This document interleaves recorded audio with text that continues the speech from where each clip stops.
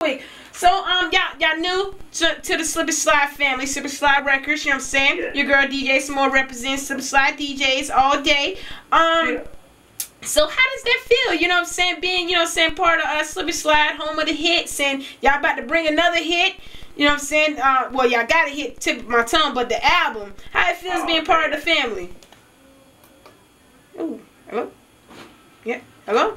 Yeah, mean, Yeah, yeah, how it feels being part of the family.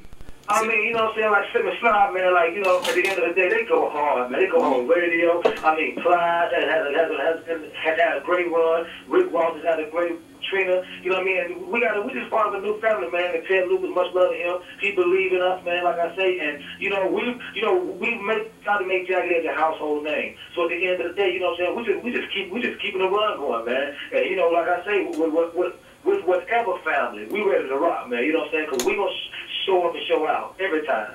Every time. Last band standing. That should be the name of the album. But we're gonna get into that in a minute. So tip of my tongue real quick. What what influenced that? How did that record come? Like, what was on the tip of y'all tongue when y'all came out with this? And mind you, now we on the radio because we know y'all keep it grown and sexy. We know that.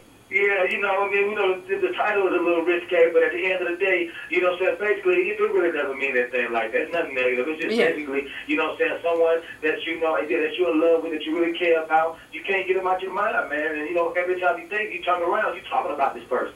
So, you know what I'm saying, that, that's what the tip of my tongue basically is saying, though. But the title, you know, it's, it's, it's, a, it's a play.